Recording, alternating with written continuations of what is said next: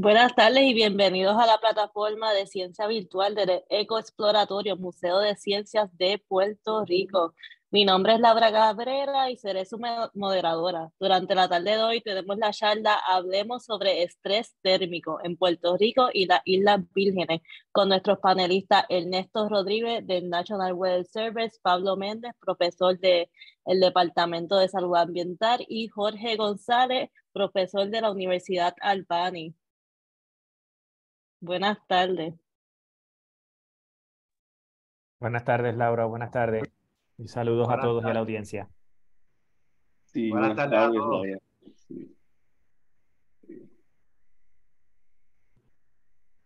Eh, Ernesto, empezamos, Laura. Este... Sí, ya empezamos. Ok, perfecto. Pues nada, vamos para allá. Déjame compartir la pantalla rapidito. Vamos a ver si es verdad. Ustedes me confirman que están viendo la pantalla, por favor. Ok. ¿Sí? Oye. Todavía, ya mismo.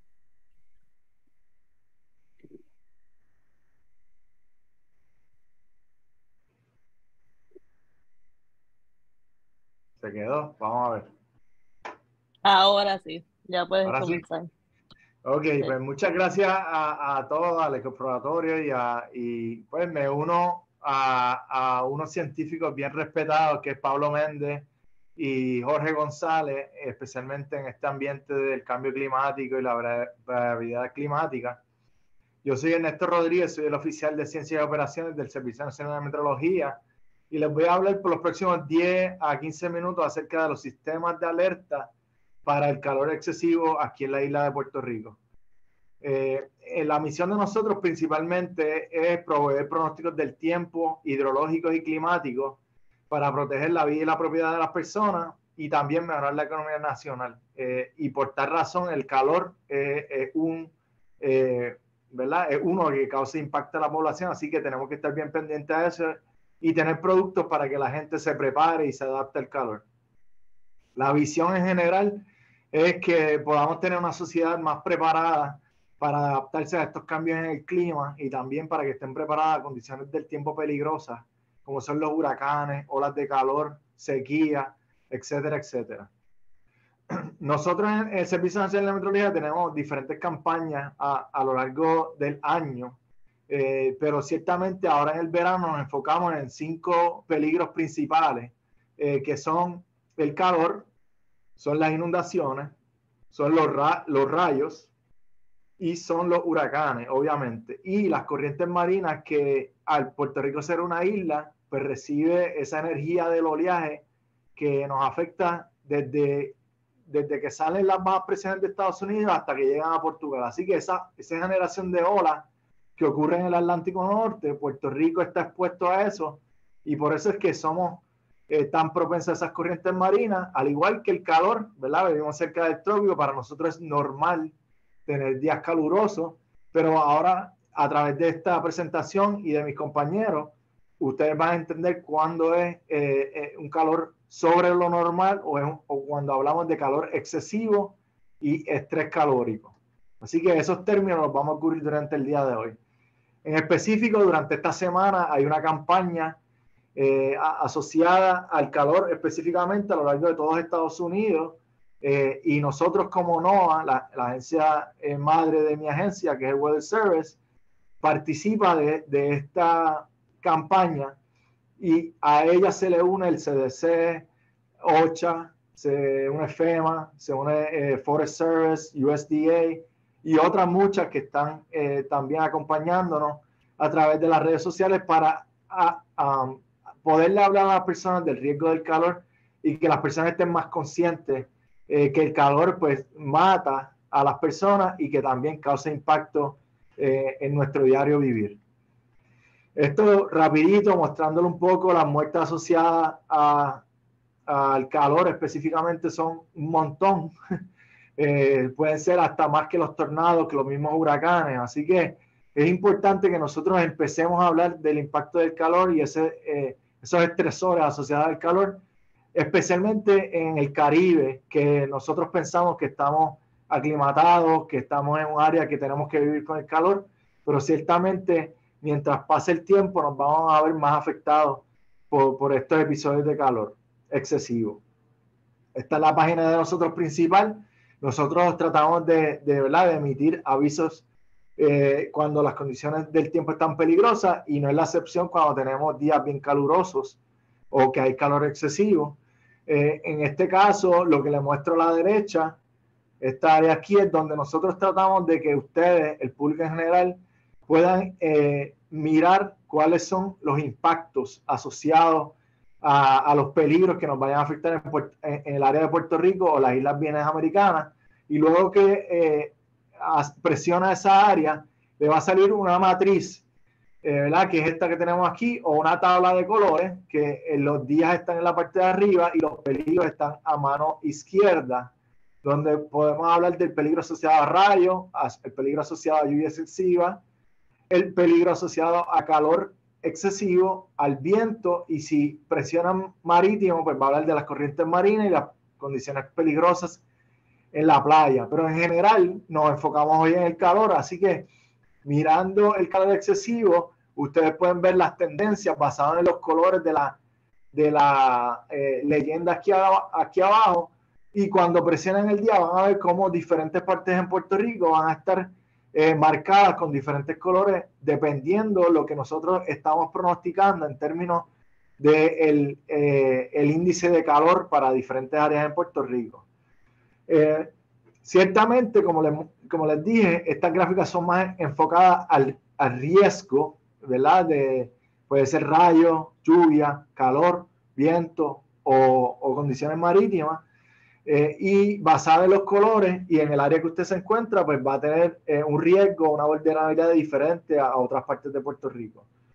Eh, en el caso de nosotros, actualmente estamos usando índice de calor, pero vamos a tener diferentes estudiantes durante el verano, estudiantes de, universitarios, y Pablo hace poco nos hizo un acercamiento para tener un estudiante graduado, para evaluar otros, otras variables, a ver si son más representativas para nuestra área. Pero por el momento, pues consideramos el índice de calor. Y el índice de calor, en otras palabras, es la temperatura aparente, la, temperatura que la gente siente cuando está afuera, no la que marca el termómetro. Eh, así que esto combina la temperatura y la humedad. Sabemos que en Puerto Rico nosotros somos, eh, estamos rodeados de agua, obviamente pues estamos en una isla, pero eso aumenta el contenido de humedad en nuestra región y al estar cercano al Ecuador, pues tenemos esas temperaturas en los altos 80 y 90 prácticamente todos los días.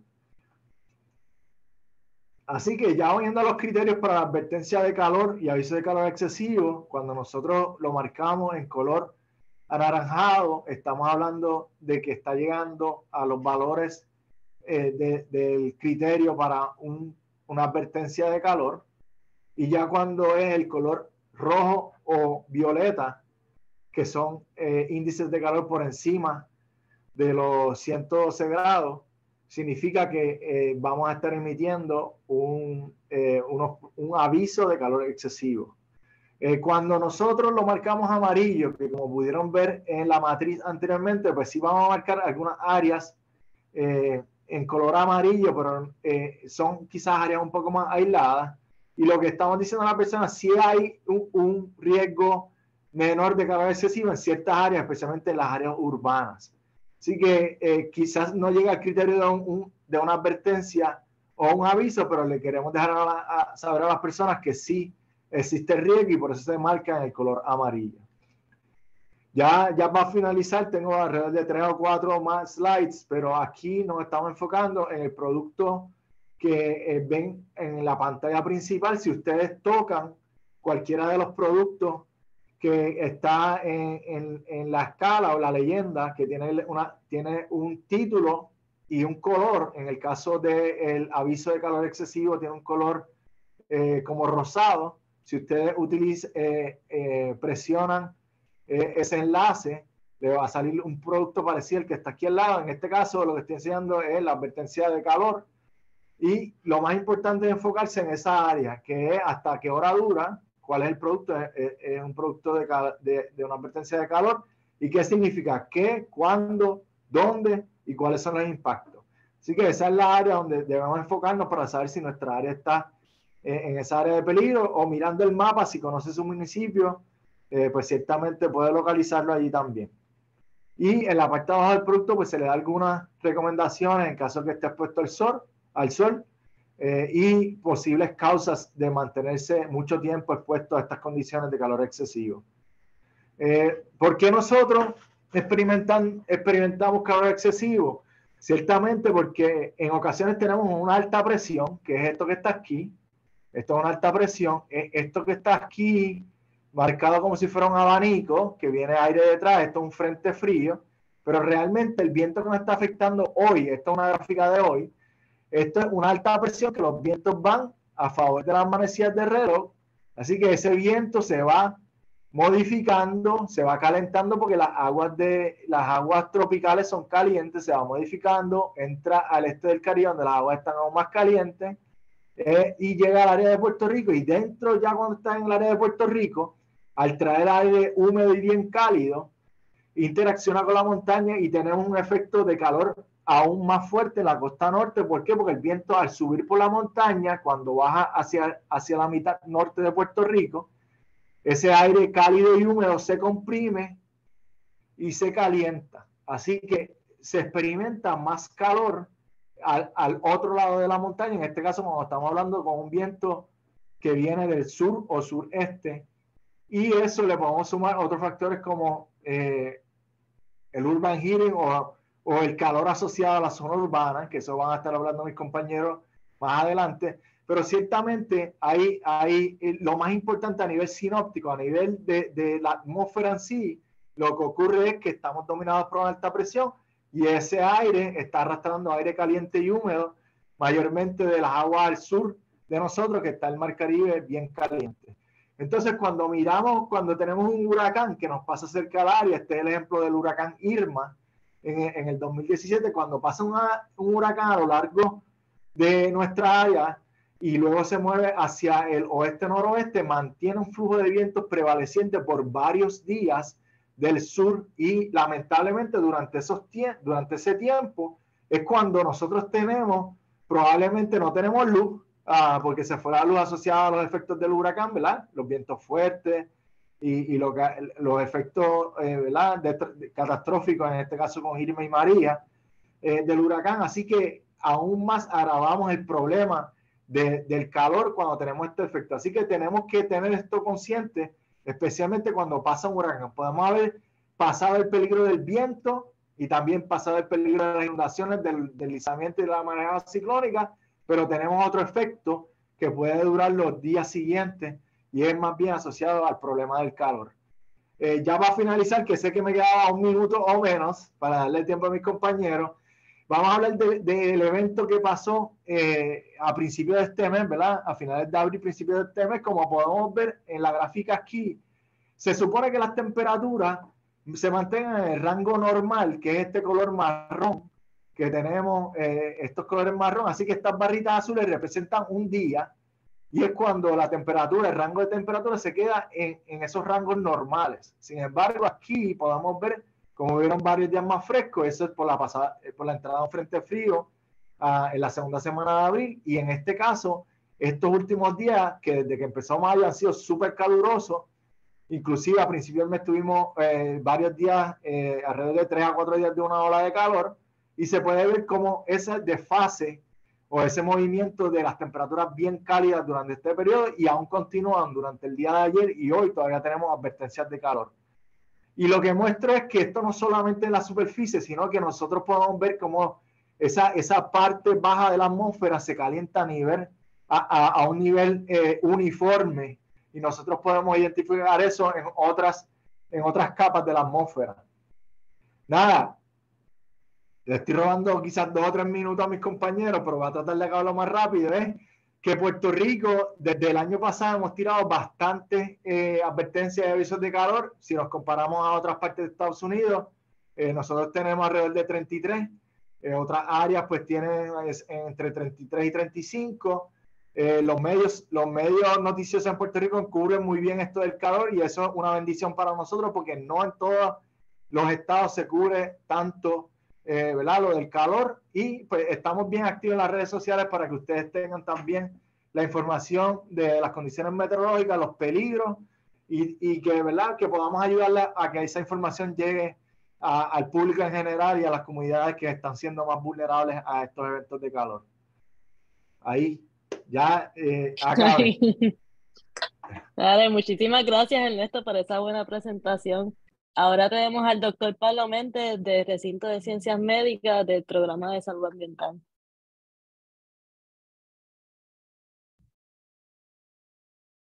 Saludos, Laura, ¿me oyen? Sí, te escuchas muy bien. Espérate. ¿Ves la presentación también? Sí, todo ahora se ve perfecto. Perfecto. Muchas gracias, este, Laura. Gracias al Ecoexploratorio, al Servicio Nacional de Meteorología, en la oficina de San Juan, por todas las colaboraciones, las agencias y oficinas que están colaborando con nosotros, y el doctor Jorge González también por, por aceptar el reto de estar con nosotros aquí transmitiendo este, el conocimiento de, de una de las amenazas climáticas que representa el calor. Y Ernesto ya comentó muchas de las cosas y yo trato de ir entonces directo al grano. ¿Por qué es importante el calor? ¿A qué nos importa a nosotros el calor? Pues efectivamente, cuando nosotros miramos entre las diferentes amenazas y, y retos climáticos que existen, el calor es la amenaza número uno por excelencia en términos de mortalidad, visitas a salas de emergencia y hospitalizaciones. Es decir, que cuando hablamos este, eh, respecto a la salud humana, al ser humano, a los familiares, el bienestar y la calidad de vida, el calor es la amenaza por excelencia. ¿Y qué ocurre? Que una inundación, un tornado, un huracán, este, eh, eh, las corrientes, incluso a veces marinas, cuando, no las corrientes, pero sí marejadas este, ciclónicas que pueden estar inundando las zonas costeras, son muy atractivas y, las podemos tirar una foto y ponerlas en la prensa, en la primera plana. Y eso pues quizás genera este, pérdidas económicas, en algunos casos cientos o millones, como pueden ser los huracanes. Pero el calor viene siendo una amenaza silente en la cual no necesariamente tú lo puedes cuantificar en dólares y centavos. Y eso pues genera un reto, porque ¿cómo tú cuantificas la magnitud del impacto de uno de estos eventos? Pues mira, si utilizamos el indicador de la pérdida de vidas humanas, nosotros nos podemos dar cuenta de que efectivamente es una amenaza a la cual debemos estar prestando atención. ¿Por qué? Porque la pérdida de una vida humana cuesta hoy lo mismo que lo que costaba hace 200 años, 300 años o 1000 años. Perder un hijo, un padre, una madre, un hermano, cuesta exactamente lo mismo y es incalculable. No es como un puente, una carretera que se inundó, este, se cayó la tubería. Eso es infraestructura que puede tener un costo económico, pero el non-market value, como le llaman en inglés, es extremadamente importante cuando nosotros estamos enfrentando el componente de cambio climático, porque todavía no tenemos las herramientas para poder expresar ese, ese impacto tan negativo que está teniendo sobre la sociedad. Más allá de, lamentablemente, cuantificar las pérdidas de vidas humanas y también las hospitalizaciones. Como bien mencionaba mi, compañero Ernesto, eh, es importante también resaltar de que el umbral, eh, la, la cantidad de calor que cada uno de nosotros puede aguantar o puede soportar antes de sentir un impacto puede variar por regiones geográficas, puede variar por condiciones de salud, puede variar por nuestra edad, puede variar por, por nuestra ropa, por nuestra actividad física. Hay un sinnúmero de factores que no solamente la temperatura es el único factor a observar cuando nosotros hablamos del calor como un impacto sobre la sociedad. Y aquí traigo un ejemplo, ¿verdad? De todos los Estados Unidos este, de América, donde podemos observar que las temperaturas en algunos de los casos aumentan la, este, el heat index en, este, algunos casos por eh, temperaturas tan bajas como los 80 grados y en otros por temperatura quizás un poco más elevada como 105. Ya Ernesto comentó lo que significa el heat index, la combinación, el índice de calor, ¿no? Es una de las maneras de poder cuantificar la combinación de la temperatura con la humedad relativa. En Puerto Rico, nosotros lamentablemente no tenemos un sistema de vigilancia para los episodios de calor y ver cómo se impacta la comunidad, ni cómo se impacta la salud pública. Pero sí tenemos ya suficientes estudios que evidencian de que efectivamente el calor está costando pérdida de vidas humanas, el calor genera exceso de mortalidad en Puerto Rico, el calor, hay personas y comunidades que son mucho más vulnerables al calor en las zonas urbanas, y voy a traer algunos ejemplos, este, que hay múltiples otras maneras de cómo cuantificar este estresor climático sobre la población y que el calor no es únicamente ocurre en temporadas. Es decir, no solamente está amarrado a la temporada del verano, sino que hay un número de factores, como bien mencionó Ernesto, y esto nosotros logramos publicar un artículo recientemente en el, en el 2022 sobre analizando un sinnúmero de tormentas tropicales que pasaban cerca de Puerto Rico y se reconoce que el calor, las altas temperaturas y la humedad en la atmósfera pueden ser como que la gasolina de los huracanes. Pero poco se conocía de que efectivamente tras el paso de un huracán, de un poderoso huracán o una tormenta tropical, también podría ocurrir un episodio de calor extremo, lo que significa que estaríamos enfrentando dos amenazas climáticas extremas consecutivas, una detrás de la otra. Y voy a traer algunos ejemplos de eso. ¿Verdad? Como mencioné, ya nosotros desde el 2016-2017 tenemos evidencia de que lamentablemente la población de Puerto Rico sí aumenta la mortalidad por los episodios de calor extremo, principalmente en población que padece de diabetes, hipertensión, obesidad mórbida, este, pacientes renales eh, y pacientes de cáncer. Y el umbral no es tan alto. El umbral en Puerto Rico es a partir de los 89 grados Fahrenheit. Así que es como temperatura. Si le añadimos a esto la humedad relativa, estamos hablando de que alcanzamos uno, uno, un índice de calor relativamente alto. Y eso no es sorprendente, porque efectivamente lo hemos visto. Si ya hemos visto que en los Estados Unidos de América tenemos un aumento en las hospitalizaciones por encima de los 105 grados en términos de índices de calor, en Puerto Rico hemos registrado 109, 113, 110, 111. Y todavía seguimos registrando, como hemos visto durante estos episodios recientes, episodios de 110, 109, 108 en algunas regiones de Puerto Rico. Y esas son condiciones relativamente peligrosas para muchas poblaciones vulnerables, principalmente mujeres embarazadas, niños menores de 5 años, este, personas envejecientes, personas que padecen de enfermedades crónicas, personas que padecen de hipertensión, diabetes, problemas cardiovasculares, este, personas que viven solas y personas que viven por debajo del umbral de pobreza. Porque esto no es como solamente ocurre un episodio de calor, pero si usted, por ejemplo, no tiene el, dinero, el bolsillo o el presupuesto para mantener un aire acondicionado encendido durante el tiempo que dura un episodio de calor extremo, usted es muy probable una de las personas más vulnerables para enfrentar este tipo de episodios. Este, y eso se ha observado también en Puerto Rico. Hemos visto cómo de estos episodios de calor, nuestro sistema de infraestructura está tan precario que no solamente los huracanes y las tormentas afectan la energía eléctrica en Puerto Rico, sino que también el alto consumo. Es decir, que el sistema no está preparado para producir la cantidad de energía que nuestra población necesita para minimizar el impacto del calor extremo. Y hemos visto cómo nuestra, nuestro gobierno y las empresas privadas en Puerto Rico pues han tenido que hacer eh, avisos de que por favor sean comedido en el consumo energético para que el sistema no colapse. En otros años hemos visto cómo el sistema ha colapsado completamente este, en el 2021, en septiembre, me parece, el sistema colapsó por el alto consumo energético. Se cayó el sistema por completo. Pero bueno, yo no soy ingeniero, no voy a entrar en detalle sobre eso. Pero hemos visto cómo el calor también afecta entonces la infraestructura. Recientemente se ha publicado un nuevo informe donde la, este, la Organización Mundial de Meteorología ya nos sugiere de que por los próximos cinco años no, esto no es una tendencia a largo plazo, es una tendencia a corto plazo. Por los próximos cinco años estaremos alcanzando muy probable temperaturas récord en todo el planeta. Esto es alarmante porque ya de por sí estamos sufriendo episodios de calor extremos en Puerto Rico y están teniendo un impacto negativo sobre la sociedad y la infraestructura crítica. Pero no es sorprendente, ya desde el 2018 la NASA nos estaba advirtiendo de que el hemisferio norte prácticamente es el hemisferio que más rápido se calienta y después las zonas tropicales porque nosotros tenemos el componente del super greenhouse effect, es decir, tenemos un super este, efecto invernadero natural que nace de la evaporación de los océanos y de las selvas tropicales con la evapotranspiración. Y tenemos una atmósfera cargada de humedad con altas temperaturas. Y lo que nos dicen ya luego en el 2020 es que esa combinación de calor con humedad se están convirtiendo demasiado severas para la tolerancia del ser humano.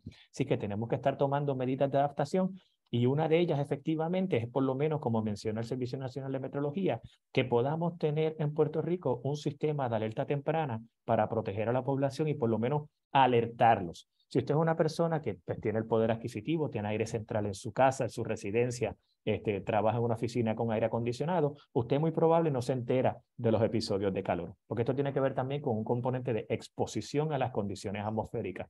Pero si usted trabaja en la construcción, usted trabaja este, afuera, usted trabaja en los puertos, en el aeropuerto, en las pistas, y usted tiene una indumentaria que, lo, que le exige para protegerse por las condiciones del trabajo donde está, usted es muy probable una de las personas que más expuesta está a las altas temperaturas. Así que ya por lo menos dentro del Servicio Nacional de Meteorología se ha comenzado con esos avisos.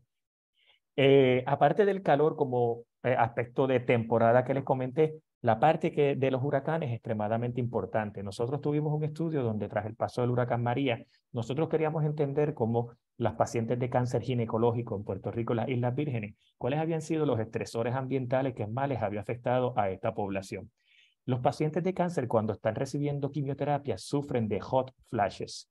Y como ustedes pueden ver, estoy presentando un, un word cloud que resume estadísticamente cuáles eran las áreas prioritarias y las áreas de mayor interés y preocupación para estas pacientes de cáncer ginecológico en Puerto Rico. Y vemos como la palabra heat, que significa calor, puede ser tan alta como la, o tan grande como la palabra agua e, y huracán.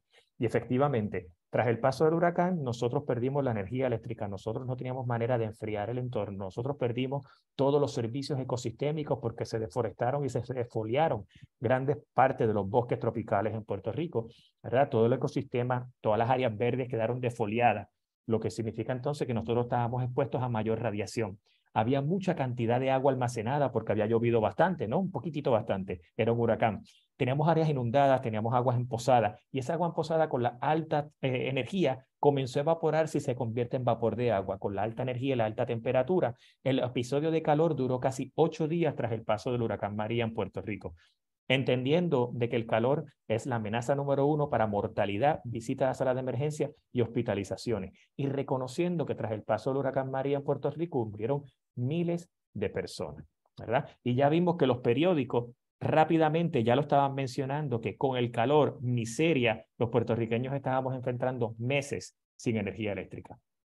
Y efectivamente, nosotros con el estudio que vimos con los huracanes, podemos comparar que de 15 tormentas que pasaron por la cercanía de Puerto Rico, en algunos de los casos las temperaturas aumentaban sobre 5 grados Celsius. Eso es un montón, estamos hablando de 15 grados Fahrenheit por encima este, de las temperaturas normales. Y cuando tú lo sacas en horas, la cantidad de horas a las cuales estuvimos expuestos a temperaturas extremas, sin aires acondicionados, sin ventilación, sin energía, sin, sin vegetación que nos ayudara a proveer sombra, estuvimos expuestos a más de 60 horas de temperaturas extremas. Y es porque, pues como les digo, ¿verdad? El calor Está claro que las temperaturas altas, las, temperaturas oceánicas son la gasolina para los huracanes. Una vez llega el huracán, pues obviamente con todo el cloud cover y toda la cantidad de lluvia el viento se reduce en las temperaturas y una vez pasa el huracán, nuevamente las temperaturas suben.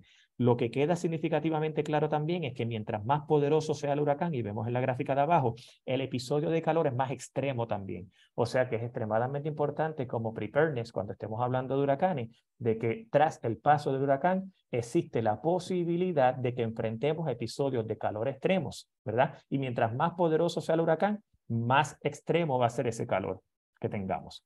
¿verdad? Y además de las temperaturas, pues todo esto se relaciona con lo que es el, el thermal comfort, que es lo que también uno de los componentes a considerar.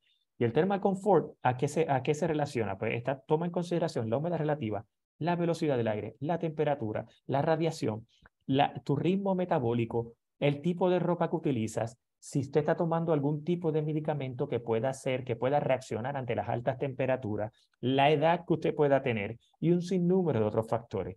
Sí que cuando nosotros hablamos a veces, cuando el National Weather Service efectivamente emite estas alertas, a lo mejor usted es una persona atlética, joven, 24, 25 años, este, no padece de ninguna condición de salud, está en forma, hace ejercicio, pues a usted a lo mejor no le afecta tanto. Pero si tenemos empatía con nuestra población más envejeciente, con nuestra población más vulnerable, pues empezamos a entender de que efectivamente necesitamos este tipo de alertas para proteger a la población.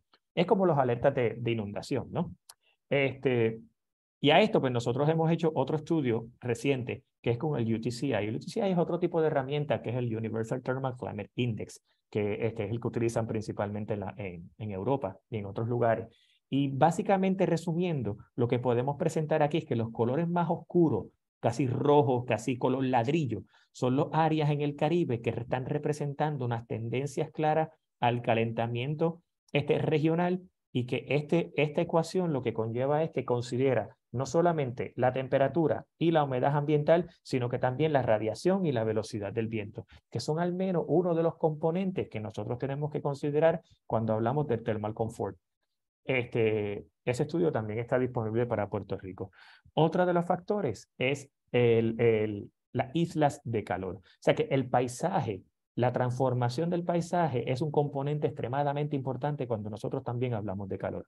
Si nosotros vivimos quizás en el centro de la isla, bajo sombra, eh, eh, este, en bosque tropical, eh, y con viento, pues muy probable, pues tampoco usted esté expuesto a uno de, los lugares este, más vulnerables. Sin embargo, si nosotros vivimos en lugares altamente este, urbanos, hemos observado que las temperaturas pueden hasta aumentar por 15 a 20 grados Fahrenheit por encima de lo que se comenta cuando hablamos en, este, el, con las temperaturas o los avisos que se hagan.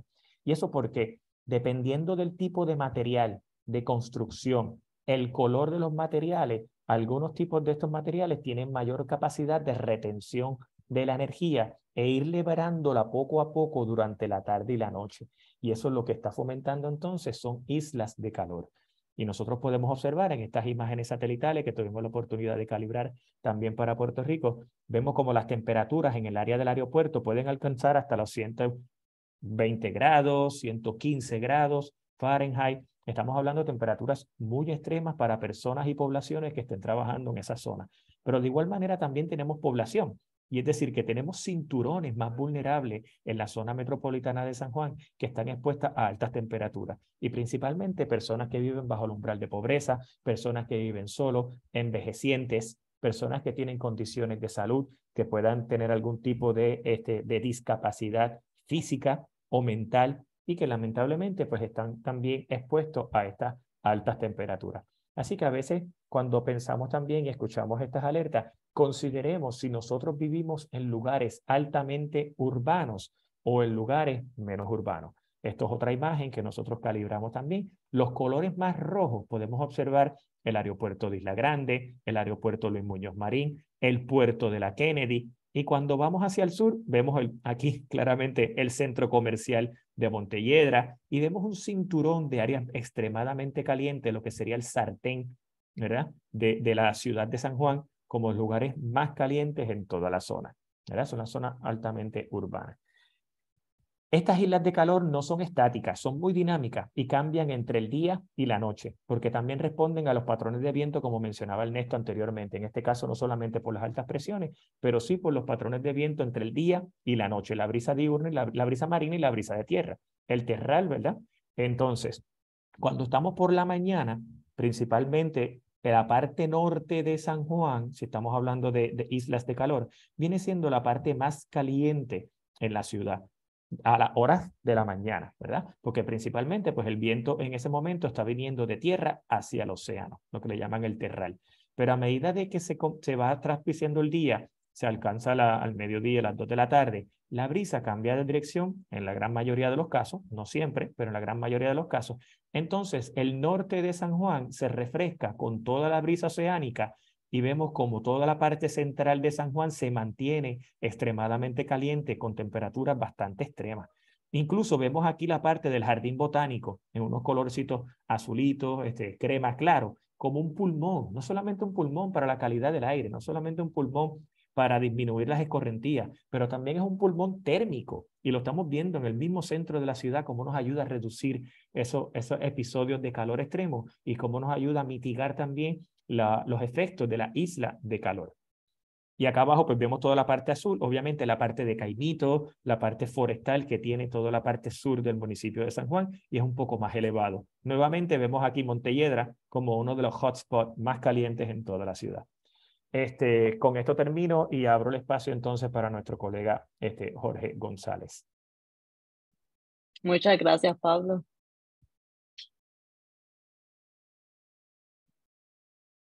Sí, gracias. Laura.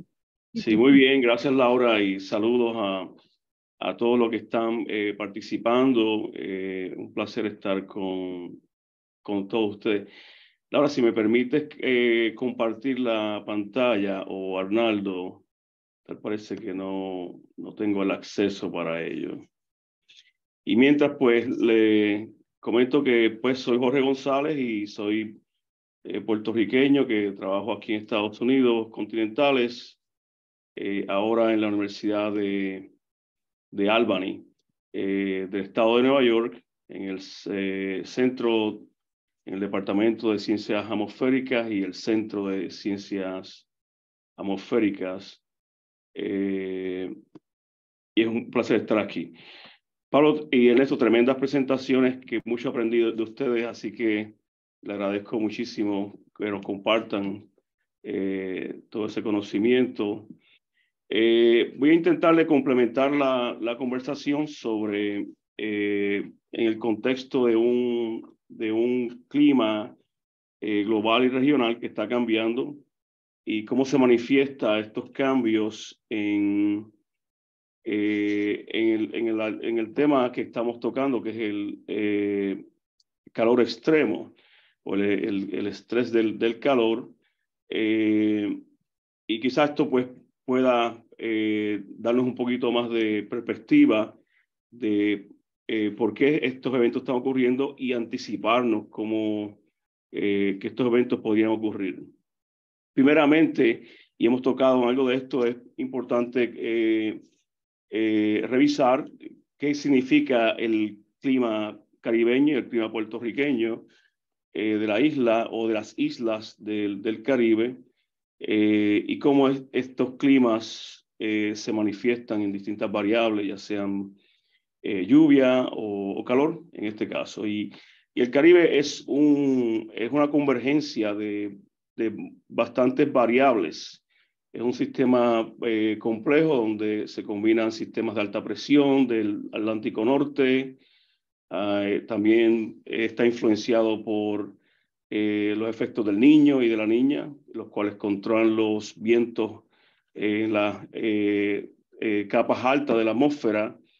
Y si hay una, un viento en dirección opuesta, pues eso va a limitar la, la capacidad de movimiento local convectivo, que es lo que de alguna forma refresca la zona. Eh, la zona también está afectada por eh, el polvo del Sahara, eh, que ocurre anualmente, y además por lo que llamamos como la zona de convergencia intertropical, que es lo que ocurre debido al calentamiento, al movimiento oscilatorio de la Tierra, debido a la declinación de la Tierra por más o menos 23 grados. Así que todo esto se combina y crea un clima muy único que eh, es tropical, pero tiene su variación, tiene una variación bimodal, y eso nos crea las épocas, la época seca, la época de verano y la época de lluvia, eh, y típicamente se manifiesta, eh, y específicamente en la zona donde está Puerto Rico, en un, lo que llamamos una época de lluvia temprana,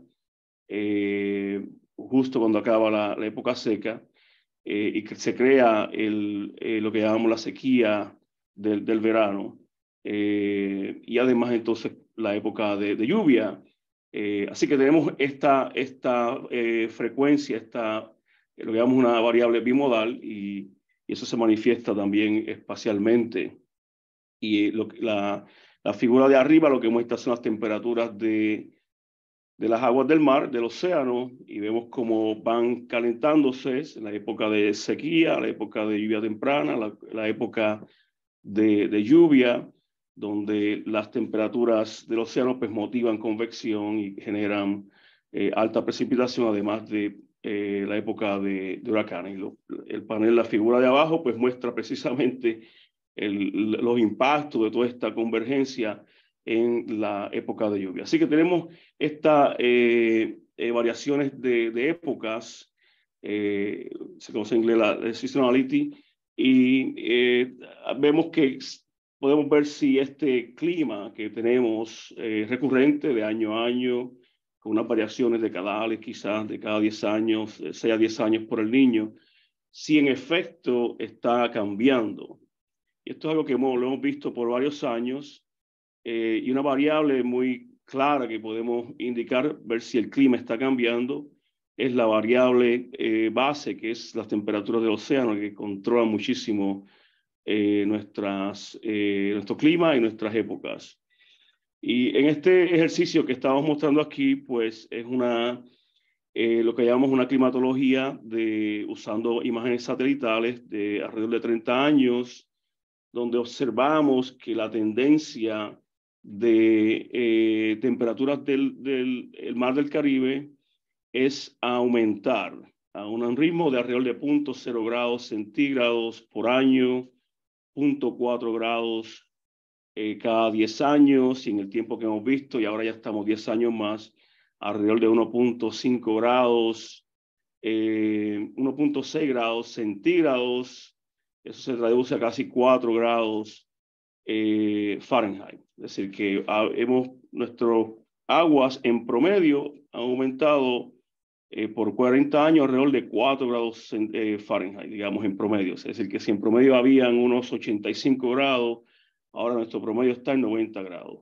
Y eso es muy probable que sea uno de los motores eh, principales para que veamos esta frecuencia de olas de calor. Nos preguntamos también si estas tendencias alcistas en el Caribe se correlacionan con el calentamiento global eh, y eso es lo que presenta el gráfico eh, de arriba eh, y está comparando ambos tendencias. Obviamente la tendencia global pues tiene unos promedios más bajos porque está combinando las aguas frías con las aguas calientes. Sin embargo, vemos que las tendencias son muy similares. Por lo tanto, podemos decir que la tendencia alcista de nuestro Caribe está muy correlacionada. posiblemente es eh, altamente debido al calentamiento global. Así que no somos, no nos estamos eximiendo del calentamiento global. Posiblemente seamos una de las zonas donde más se está manifestando el calentamiento global, como lo estamos midiendo. Estos son en medida, no son proyecciones en este caso.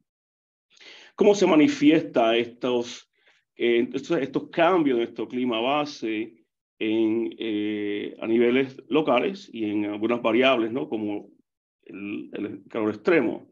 Y las olas de calor pues son una, una variable que sí se manifiesta como eh, respondiendo a estos cambios eh, alcistas globales y, y ahora regionales en este caso. Así que eh, Ernesto y Pablo han conversado muchísimo sobre el índice de calor, por lo tanto no voy a abundar sobre lo que se define. Se define como una variable que es importante de eh, monitorear eh, y se utiliza para indicador de que hay un evento de calor extremo. Entonces, él dice que el calor está eh, aumentando como consecuencia del calentamiento global. Pues las observaciones que hemos hecho indican que sí y posiblemente con un ritmo más acelerado a partir del año 95 aproximadamente, más que la, los tiempos anteriores. Eh, lo que significa que sí estamos en una tendencia alcista de temperatura del océano y también del índice de calor eh, y posiblemente lo que estamos viendo eh, se está manifestando de esta forma. El Caribe no es exento de estas tendencias alcistas, lo estamos viendo a nivel continental también, así que este gráfico muestra los promedios de índice de calor en los últimos 30 años aproximadamente, eh, y vemos que hay una correspondencia entre ambos casos y quizás en áreas continentales se está manifestando de igual forma. Esto es bien interesante porque la isla pues tiene mucha ventilación, es una área que en términos del contexto de extensión eh, de tierra es mucho menos que áreas continentales y por lo tanto eh, vemos que sí estamos viendo estas manifestaciones de, de tendencia alcista en las variables de, de calor.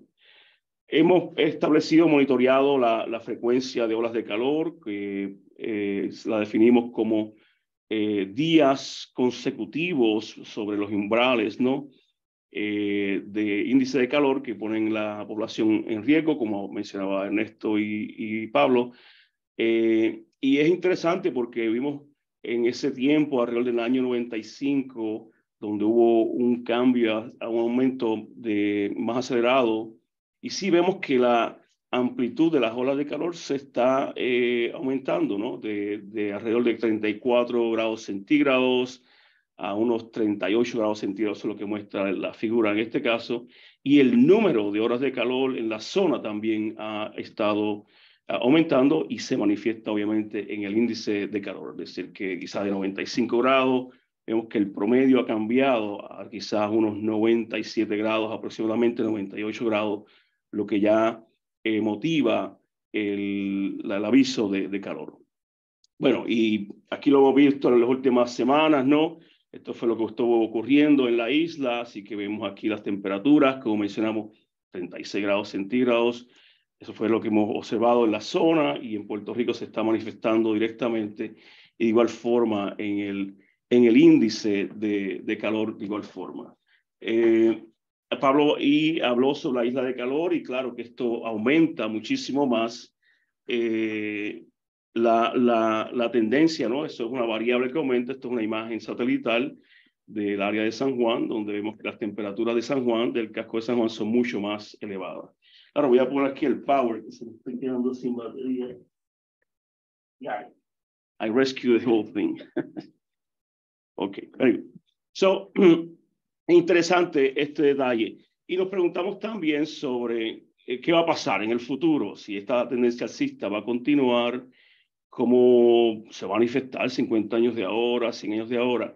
Y es algo que en el ambiente de climatología, pues eh, nos hacemos esa pregunta, distintas variables, si hay metodologías para hacer estas proyecciones de cambios climáticos, lo que nos permite es prepararnos, ¿no? La infraestructura, por lo menos anticipar riesgos y demás. Eh, y si hemos ido, eh, hecho este ejercicio para, para el Caribe, eh, esto, la metodología que se utiliza es que el panel de, de cambio climático eh, intergubernamental de las Naciones Unidas establece es posibles escenarios donde nos vamos a estar moviendo en el futuro. Escenarios bajo, eh, digamos, bajo gases de invernadero, 2.5 o menos control de gases de invernaderos. Eh, y a, a, partir de esto se hacen los acuerdos de París y todo este asunto. Así que esos son cómo nos proyectamos al, al futuro. Y en el escenario que posiblemente estamos viviendo hoy día, eh, hace unos 10 años estábamos hablando de un escenario del 2.5, pero ya creo que estamos descartando eso, estamos muy tarde, así que la escenario 4.5. Lo que significa 4.5 es, es la, digamos, el impacto de radiación debido a los gases de invernaderos. Y dice que pues para el 2050, digamos, unos 30 años de ahora, no hay muchos cambios, ¿okay? A partir del presente. Así que no vamos a ver muchísimos cambios si estamos en ese escenario eh, sin embargo, en el escenario un poco más agresivo, si vemos que las tendencias son de que el índice de calor, las horas de calor, van a estar en los 40 grados. Ya estamos en los 38, así que no estamos muy lejos de esto, en los 40 grados centígrados, es decir, alrededor de 107 grados de índice de calor, y que el grupo de Ernesto va a tener que estar haciendo avisos mucho más frecuentes eh, y, y, tenemos que prepararnos entonces para cómo manejar o vivir en este, en este calor tan extremos si las cosas no cambian de aquí a unos 40 años, 50, que tenemos control del, del, de los gases invernaderos y el impacto de cambio, de cambio climático. Sigue con eso, eh, eh, aquí eh, los dejo con varias reflexiones de que si el cambio, el clima del Caribe está cambiando, lo estamos monitoreando, lo estamos viviendo y las olas de calor son una eh, manifestación directa de, estos efectos afecta el contenido de humedad, afecta las temperaturas, obviamente el índice de calor y las genera olas de calor. Los impactos humanos, ya Pablo habló muy bien sobre ellos, pero eh, creo que podemos eh, anticipar de que estamos en una tendencia que podríamos estar viendo estos grados de 105 grados con mucho más frecuencia de lo que hubiésemos querido. Por lo tanto, impacto en infraestructura, cómo eh, mitigamos estos efectos. Eh, energía o quizá motivar espacios verdes. Sí, así que estas son eh, unas realidades que tenemos que, que, que aceptarlas y prepararnos. Es la mejor forma entonces quizás de que podamos entonces trabajar con este asunto de los calores extremos. Y Laura, gracias aquí. Eh, entonces, pausa, ¿verdad? Yo creo que hasta me pasé del tiempo. Me disculpa sí. si lo hice. Ok, gracias. Sí, muchas gracias, doctor González este, ahora estaremos pasando a responder las preguntas recibidas a través de Zoom y Facebook Live. Eh, la primera pregunta que tenemos es, saludos, yo vivo en el barrio Quebrada Grande de Trujillo Alto. Es un lugar montañoso. Durante el día hace mucho calor. Sin embargo, Cuando es de madrugada, la temperatura es fresca. ¿Ese patrón continuará durante estos meses? Bueno, eh, yo puedo empezar y después te sigue. Trujillo Alto es, un patrón bastante localizado. Eh, lo, que pasa es lo que explico, por la, si está el viento del sureste, está bien caluroso porque el aire sube por la montaña y se comprime al bajar hacia Trujillo Alto, o se calienta un poco más. Ah, en la noche lo que pasa es, eh, es que la tierra se calienta, la, la tierra se enfría rápido y lo que crea es la brisa terrestre. Así que el aire más frío de las montañas baja hacia sectores de la costa y, en ese camino pasa por Trujillo Alto antes de llegar a San Juan. Así que por eso es que las noches son más frescas, porque el aire más frío de la montaña está bajando en dirección hacia la costa. No sé si quieren decir algo más, Jorge y Pablo. Sí, eh, Pablo, eh, Ernesto, me parece muy bien la, eh, y en efecto, como habías mencionado que la ola de calor que se manifiesta en una zona de alta presión genera estos vientos de, del sur, ¿no? Donde ya la ventilación del norte es muy poca. De hecho, lo que hemos visto en nuestros modelajes es que había muy poco viento, ningún viento del área del norte, que es lo que permite esa ventilación y mantener nuestra zona eh, alta, fresca, sé que no se benefició de este, de este ambiente, de este eh, ambiente natural, sino que hubo un cambio debido a la alta presión que, generó la ola de calor. Yo solo comento algo, este, y es sorprendente escuchar que ya en Trujillo Alto, cuando a veces Trujillo Alto no entra dentro de los avisos, estamos escuchando de percepción, ¿verdad?, de las propias personas en sus propias palabras en carne y hueso, que efectivamente están sufriendo calor con la elevación, con, con el bosque, con zonas relativamente poco urbanas, y aún así estamos viendo evidencia de cómo las personas sí se están quejando del calor allá arriba. Así que eso es una evidencia más de que efectivamente, si eso es allí, imagínense entonces en Río Piedras, Cupey, Atorrey, Santurce, este, lo que ha pasado en Arecibo. Así que efectivamente eso valida la necesidad de estos tipos de alertas. Eso es todo lo que quería comentar. Yo creo que ustedes lo explicaron muy bien. Vale, vale, muchas gracias. Tenemos otra pregunta, es saludos. El hecho de que Puerto Rico se encuentra en una zona tropical, ¿es más probable que se sienta el efecto invernadero? Dale, Jorge, Jorge, que habló del efecto invernadero. sí, sí. Bueno, como, pues, como, como mostré la, en la figura, eh, la zona del, del, Caribe es una de las zonas más eh, que más eh, están experimentando el, el efecto de lo, del calentamiento global debido a los gases de invernadero, ¿no?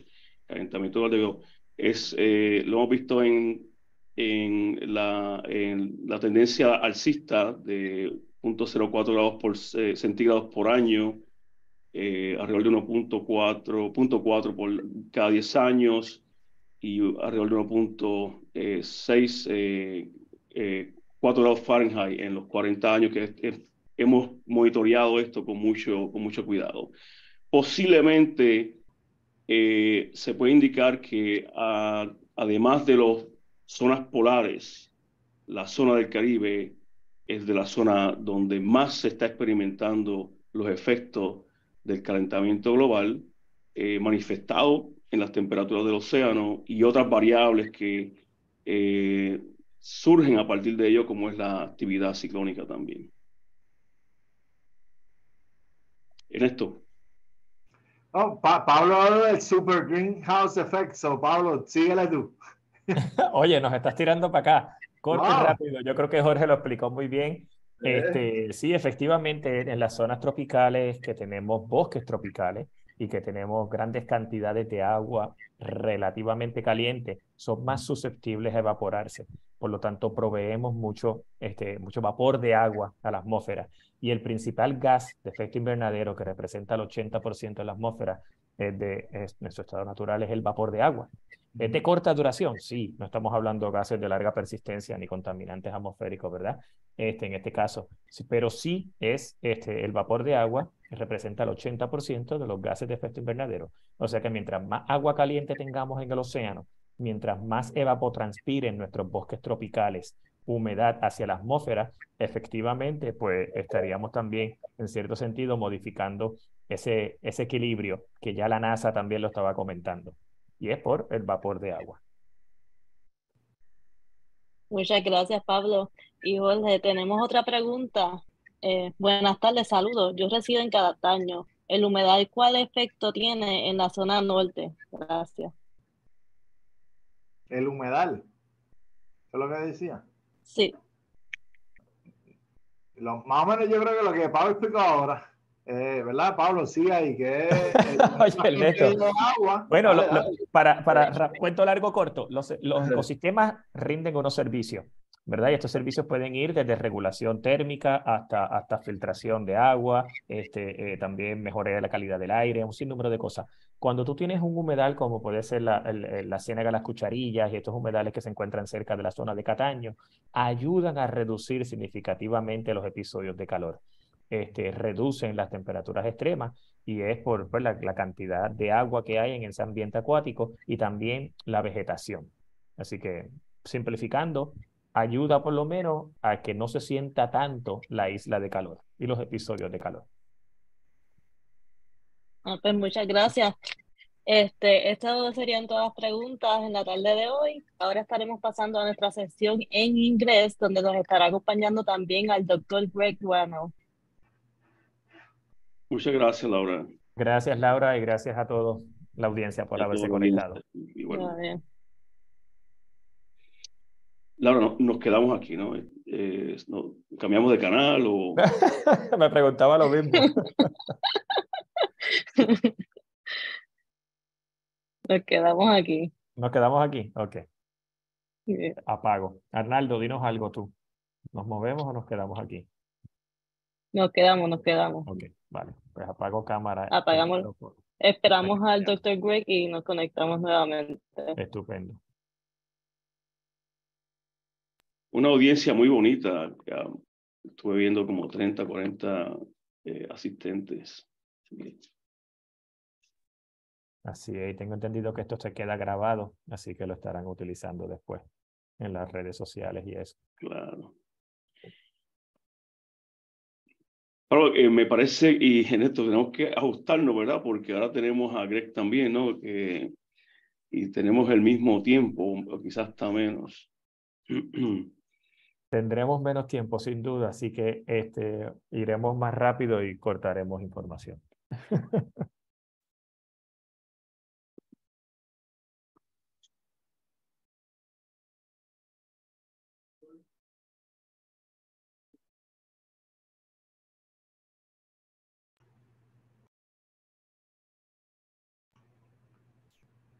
Pablo, ¿tiene el teléfono de Greg que se lo puedas pasar a Arnaldo.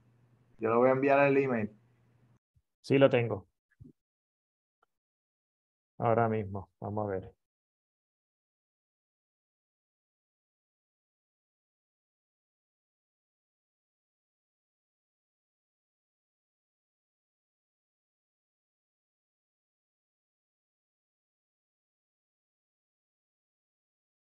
Arnaldo, ahí te lo envié.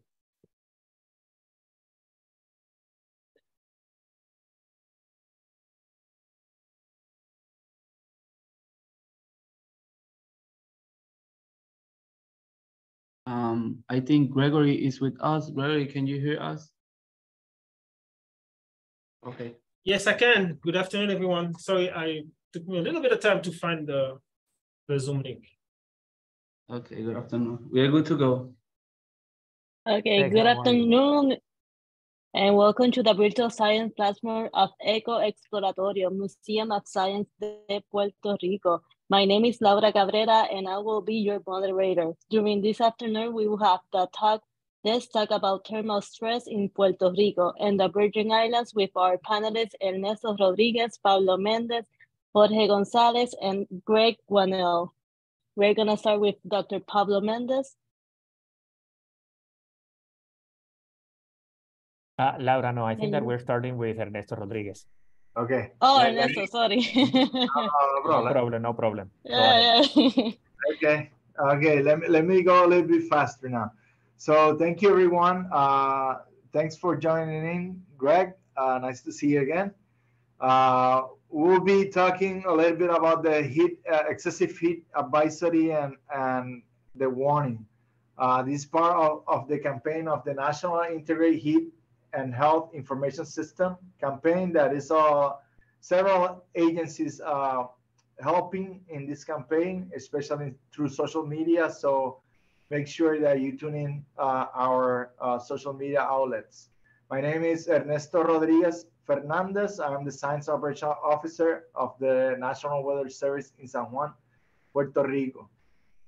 So very quickly, our mission and vision, um, the, our, our mission is protecting life and property by providing weather, climate, and hydrologic forecast. And also in our area, the marine forecast is also very important uh, with the intention of saving life and property as well as improving the national economy.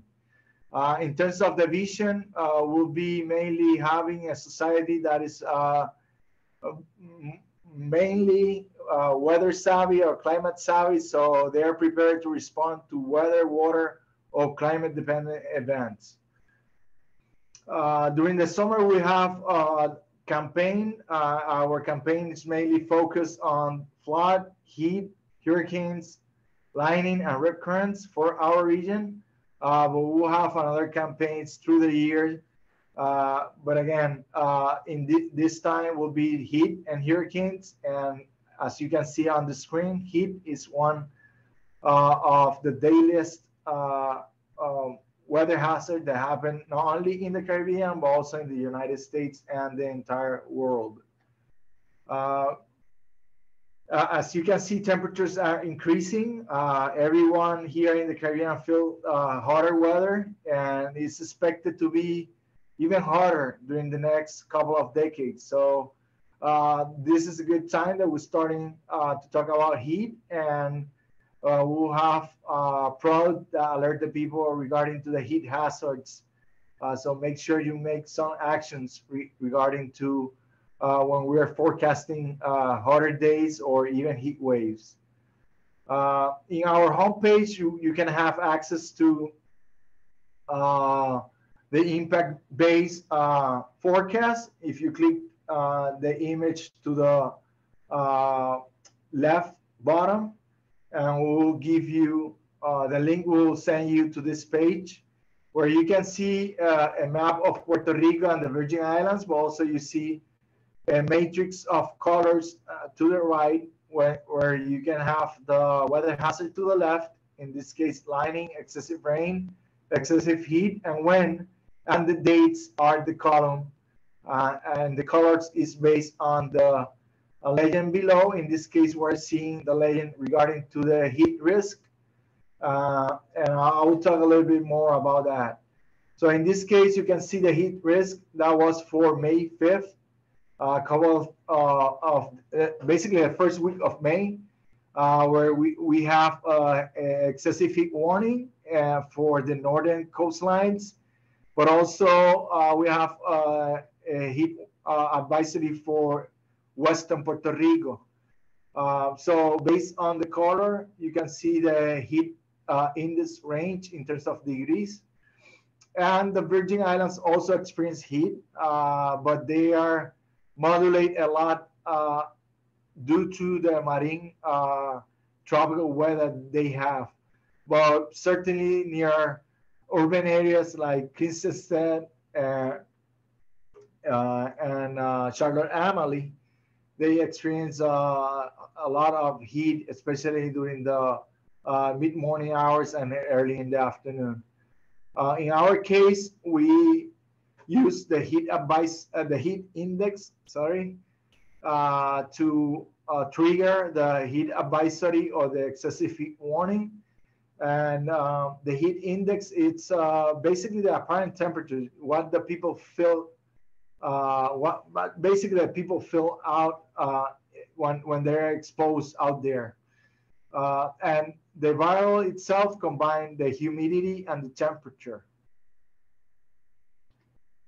Uh, the criteria for the heat advisory or the excessive heat warning uh, is the heat indices between uh, 108 and 111, uh, that for us trigger a heat advisory.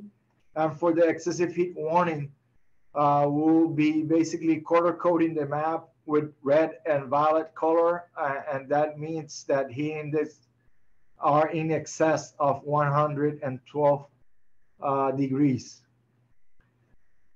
This is how it looks like our uh, warning and uh, map in the front page. Uh, you can see that it's color coded based on the heat advisory heat warning. Uh, for today, we have a heat advisory, and you can see that to the, uh, the text in the side of the screen, the right side of the screen, where, where you can see it's the what, when, and where, and also the impact. Try to be clear and, and uh, uh, try to be more bullet form the product itself. So to be clear in terms of impact, what areas and when when the impact will uh, start and end.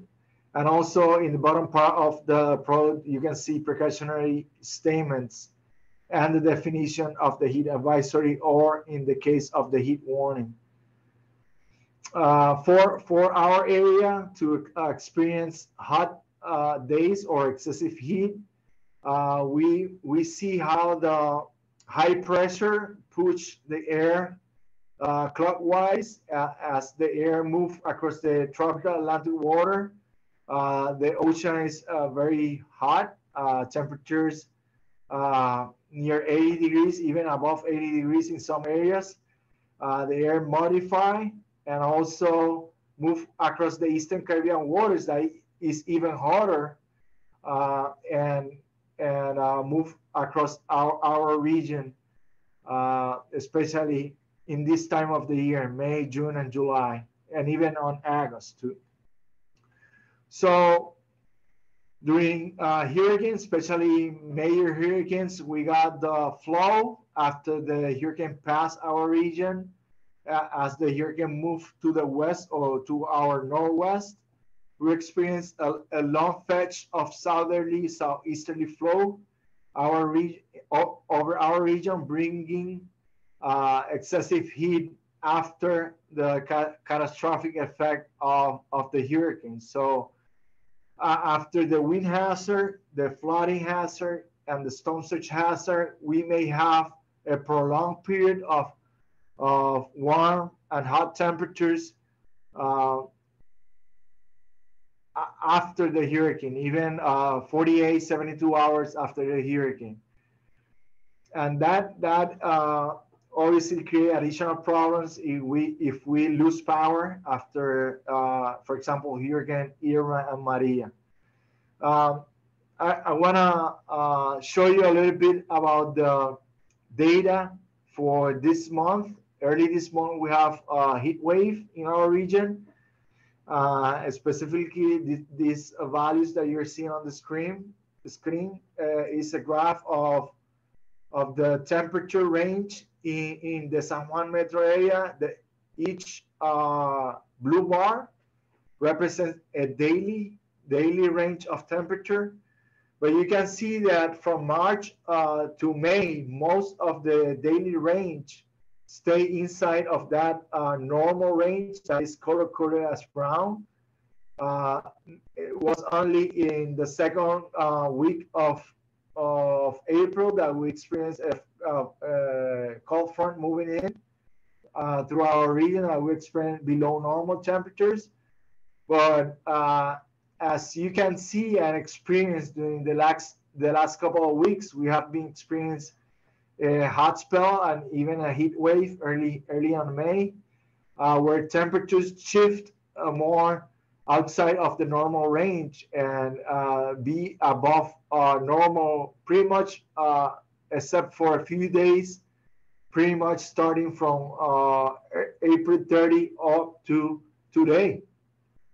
And we are looking at other layers in the atmosphere to give us how the the lower layer of, uh, of the atmosphere based on the synoptic conditions uh, are affected not only in the surface, but the entire uh, boundary layer is affected by these uh, temperatures. uh, comparing Puerto Rico with other areas uh, in the States and uh, Alaska, one, and Hawaii, Puerto Rico has been issuing or has been experiencing a lot of hot days, excessive heat days, I can say. In our region has been 33, very similar to what is happening in the central U.S., south central U.S.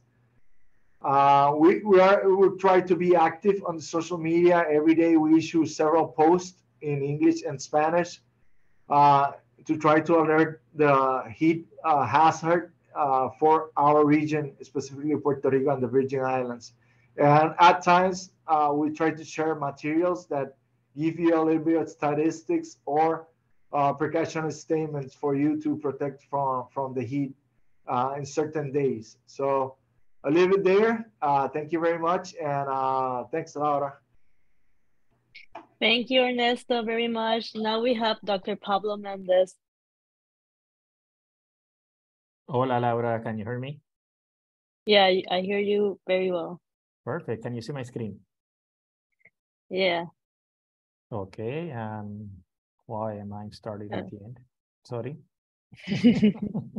no, Something wrong happened here. Okay. Uh, thank you, Laura. Thank you. Uh, very happy to be here sharing this um, presentation uh, during the Heat Awareness Week with the National Weather Service, El Exploratorio, and our colleagues as well from um, Virgin Islands, Greg Bonnell and Jorge Gonzalez in New York.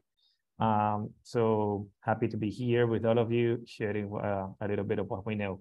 So in, in this case, I'm going to be talking about potential impacts and why it's so important for us to speak about heat heat stress in the Caribbean when we are living warm, humid environment, right? Um, so when, I, I'm going to start by showing this graphic very quickly. So when we're comparing heat um, with all of the different um, climate-related hazards, heat is the number one um, in terms of mortality, hospitalizations, and emergency room visits. So it's, it's, it's a silent killer, right? Um, you can see it, you can see it throughout the years, 2017, 2018, 2020, also into 20, um, 2021. And the most recent graphic will show you exactly the same thing. So this is important, right? Um, I was telling in the other in the other webinar when we were talking in Spanish that obviously all of the other hazards, floods, hurricanes, um, tornadoes, um, all of these hazards may cost um, human lives uh, in some cases, not in all of them. Uh, but they have a, a they, they are very expensive in terms of economic impacts. So the reason why probably um, uh, the, the news and the media are paying a lot of attention. And it's pretty easy to take a picture about a huge flood. It's very fancy if you want to take a picture about a huge hurricane and to videotape what is happening with the wind, right? But how do you do that? How do you record when you're talking about heat? it is not that perceptible. You cannot take a picture about heat. You can only take a picture about the, the temperatures in a in a in a um in a thermostat, right? But it's it's it's it's not that fancy for you to capture what is happening about heat um when we when um, in comparison with other hazards, right? But again, when we're talking about humans' life, public health, and impacts on, on increasing hospitalization and emergency room visits is the number one hazard, um, climate-related hazard. And this is important because um, a human life is priceless. I was telling to the other group as well that a bridge, it might change throughout the year, the cost of repairs and the maintenance of the bridge. But a human life, it might cost exactly the same thing. It's priceless. It might cost exactly the same thing 200 years ago, 2000 years ago, and nowadays. Losing a child, losing a kid, losing your son, your daughter, your father, your brother, it's exactly the same price and it's priceless, right? Um, so uh, there is no a unique threshold to say, so heat uh, above this threshold, people are going to be impacted by the temperature. There is no so thin. It might, it might be some kind of suggestions, but if you take a look carefully of what is happening in some of the in some of the places in the continental US, you might see that the thresholds are different. So you might have you may see impacts about on heat and hospitalizations and in threshold um, as low as 80 degrees Fahrenheit. But you can see in other places that are threshold of above 105 heat index. And heat index is the combination between the temperature and the relative humidity in the air, right? And it's the, it's the combination that it will give you the thermal sensation and how hot your body is perceiving the temperature in the atmosphere. Um, we also do have vast, vast um, literature and evidence of what is happening in, in the Caribbean region with, with um, this kind of hazard, with heat. Um, we do have people that are vulnerable to, to heat. Uh, we have a vulnerability index for the San Juan metropolitan area. We, we have evidence that actually the people are dying in Puerto Rico and the San Juan metropolitan area because of the heat episodes. Um, we also have evidence of what is happening in terms of, of other kind of, of, of indices for to measure also heat in the Caribbean. And another important thing uh, is that um, we are identifying that heat is not only something that is occurring seasonal, but heat is also tied to the occurrence of tropical storms and hurricanes in the Caribbean. Heat is the fuel for the hurricane formation and tropical storm, but also we notice that there are some anomalous heat or heat episodes that are occurring in the aftermath of hurricanes or powerful tropical storms in the Caribbean. So meaning that when we're entering the hurricane season, we also need to pay attention that we might have compound effects about suffering probably or facing one powerful tropical storm, and all of a sudden in the aftermath, probably will be facing also a heat episode. Uh, these are the graphics that we, we found for in terms of uh, measuring the impacts and the excess mortality for Puerto Rico. And what we found is that people that are uh, elderly with diabetes, with pre-existing health conditions, chronic disease, um, hypertension, obesity, cardiovascular diseases, um, cancer are, are, most likely to die because of the extreme heat episodes in Puerto Rico. Um, this is consistent with what we're showing in other places, so we are not superhumans we are literally suffering exactly the same things as it happened in many other places in the world, right? Uh, and again, as I, as I mentioned, um, when we're seeing temperatures in other places, we're seeing, okay, so what, 105, 110 um, in terms of the heat index. And exactly, those are the kind of numbers that we're seeing also in Puerto Rico and Virgin Islands. As you can see here in the graphic of the right, in English and in Spanish, both of them that are being made by the National Weather Service in San Juan, we're seeing that we are registering este, heat index of 113, 110. These are dangerous conditions for vulnerable population. And when we're talking about vulnerable population, again, these are elderly, children below five years old, people with chronic conditions, people that are living alone, people that live below poverty level, that they don't have the, the budgets or the resources um, to mitigate the heat episode with air conditioners or with ventilation because the energy is so expensive that is it, eh, it, eh, eh, they don't have the budget to cover those expenses during the heat episodes. Uh, so pregnant women, newborn children, elderly, people with chronic disease, cancer patients, HIV, um, diabetes, um, all of the different, uh, most of the different uh, chronic disease that are being exacerbated by heat episodes. It doesn't mean that heat episodes are bringing these kind of conditions, but are exacerbating the severe symptoms in these patients which is worse, is that we are expecting for the next five years, at least in the short um, trend, we are expecting to, to, to, to receive at least more frequent extreme um, heat events in most of the places of the planet Earth. Uh, and this is not surprising because since 2018, we have seen um, already NASA identifying and mentioning that there is a super greenhouse effect in Earth tropic. And why this is occurring? Because we have the surface ocean and the sea surface temperatures are very high. So that means that you have warm water evaporating into the atmosphere. So you are transferring all that water vapor into the atmosphere. And water vapor is the number one uh, the greenhouse gas in the, it, represents almost 80% um, in the atmosphere.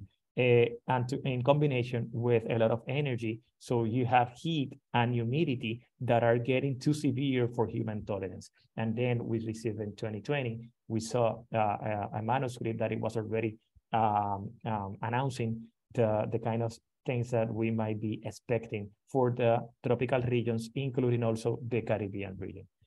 Since then, we, um, at least with the National Weather Service, we start developing the heat advisories and early warning system for Puerto Rico and also including Virgin Islands.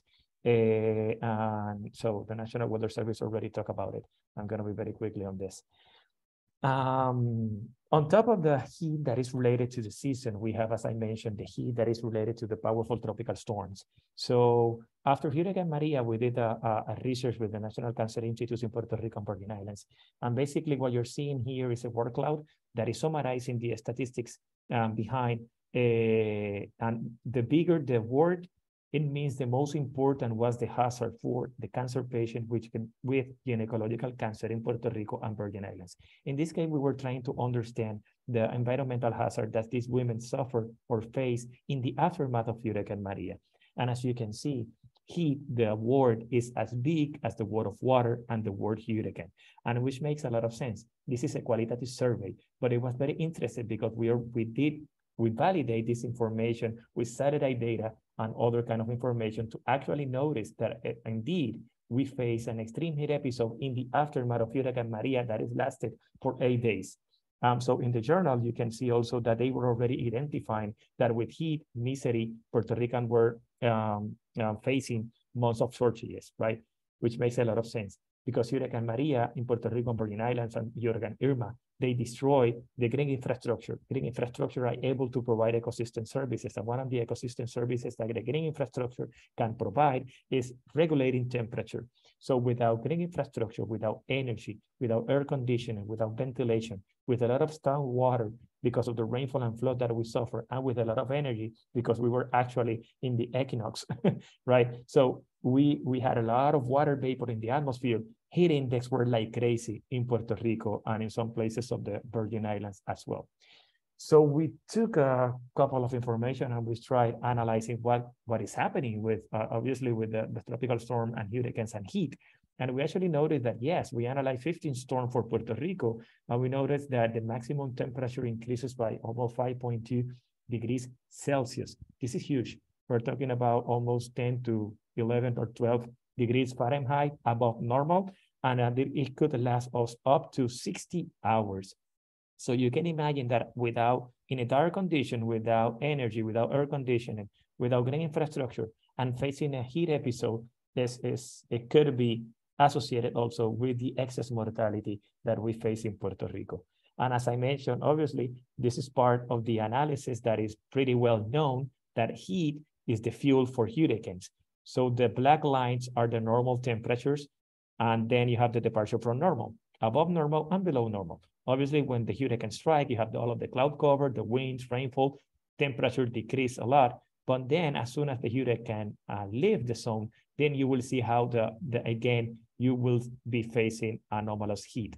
And what we notice is that the power, the biggest the hurricane, or that, that is related for hurricanes that are category three up to five, are most likely to, pro to produce a heat episode stronger than those that are powerful, that are tropical storms, right?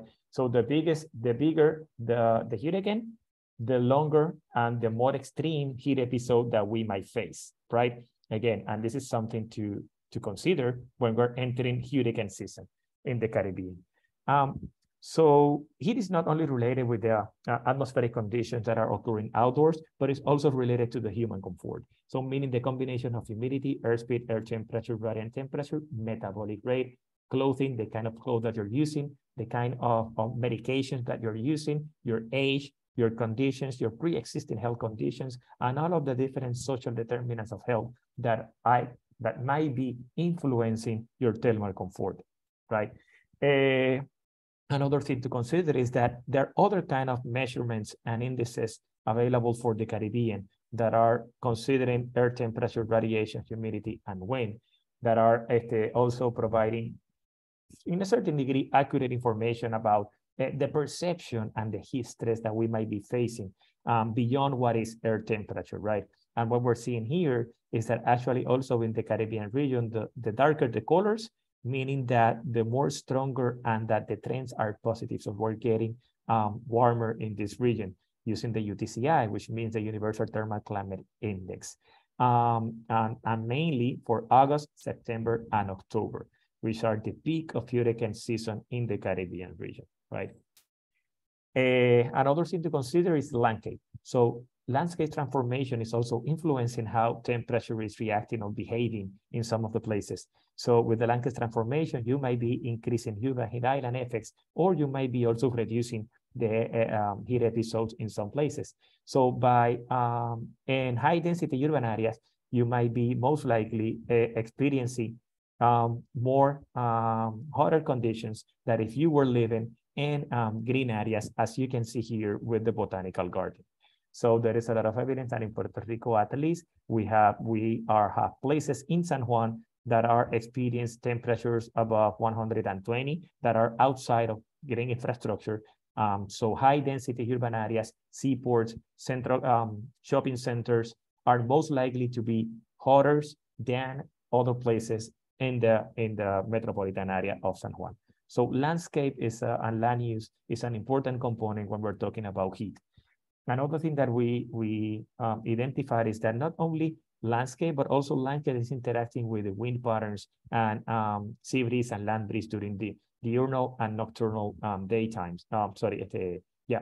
So in the morning, at least in the northern part of the city, you can see that the part, the part, the northern part of the city is warmer than the southern part of the city. And this is mostly because the wind, the prevailing winds are coming from the, from the, directly from the island. But in the afternoon, you might see that the sea breeze is coming from the ocean. So the northern part of the island, of the city, is getting cooler than the central part of the island. So meaning that the warmer part, if we would like to pay attention in terms of heat advisories and warning to specific areas, we are identifying where are those places that need to be aware of what is happening no matter the time of the day. Because if it is the afternoon, they're hot. But if it's in the morning, they're also hot. But for other places, it's not like that, right? So many things to consider about uh, landscape, land use, and the interaction with temperatures.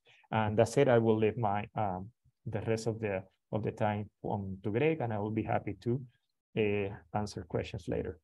Thank you, Laura. Thank you very much, Dr. Mendez. Now we have uh, Dr. Gonzalez. Thank you, Laura. Thank you, everybody. Very nice. Uh, yeah, uh, Ernesto and Pablo, and to all the the attendees.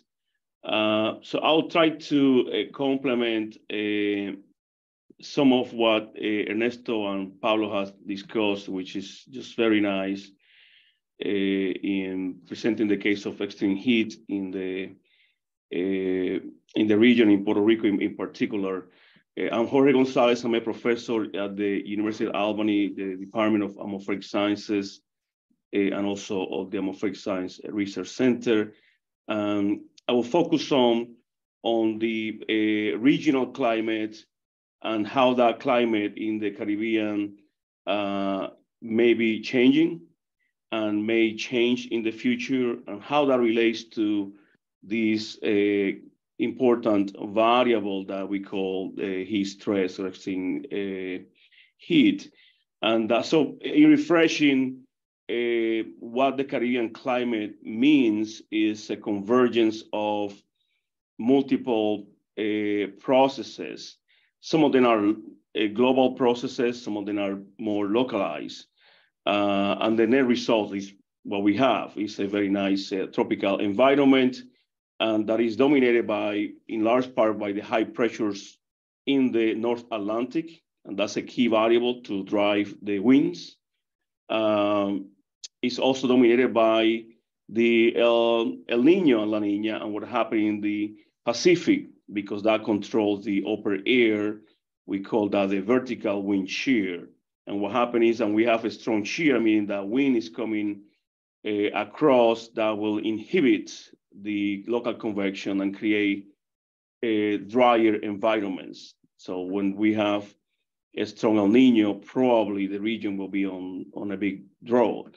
That's like a 2015 big drought, no rain for months. That was in large part due to a strong El Nino that then put the whole system, the Caribbean system, on a, on a stall. Uh, and we're also blessed by the Saharan dust uh, that in, in part uh, dominates some of the uh, energy balances in the, in the region and also has influence in the amount of uh, humidity that is in the, in the area, including controlling some of the convective processes. And then we have local effects, land uses, meaning uh, convergence in Mayagüez. It rains almost every afternoon because we have a very nice convergence of sea breeze and the easterly. When the easterlies are present, uh, when they're not present, there won't be any, any rain. So overall, we put all these um, into a, a, nice pot, all these ingredients, all these beans, and then we, we come up with a Caribbean climate that has this very nice uh, seasonality. It has a bimodal pattern, meaning that it has two peaks in precipitation. And we know it's a dry season, we call dry season.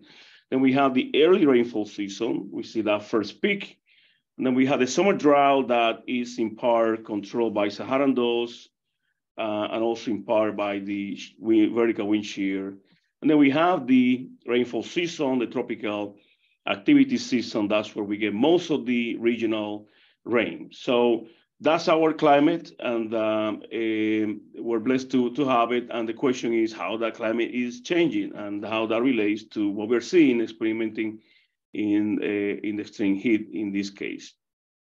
Again, the seasonality is manifested in, in, temper, in terms of temperatures controlled by the ocean, the, the sea surface temperatures, all right? This is the upper panel, and we can see the progression all the way from a little bit, you know, more orange to red.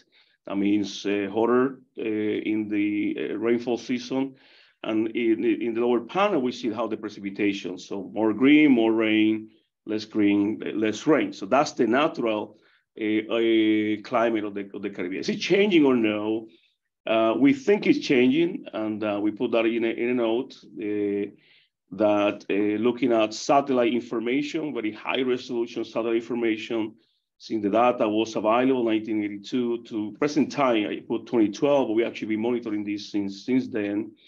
And we found that the Caribbean region is warming at a really fast rate, 0.04 degrees Celsius uh, that means 0.4 degree per decade every three, uh, 10 years, um, 1.2 degrees every 30 years, and 1.6 every uh, 40 years. All right, putting that context, about four or five degrees Fahrenheit.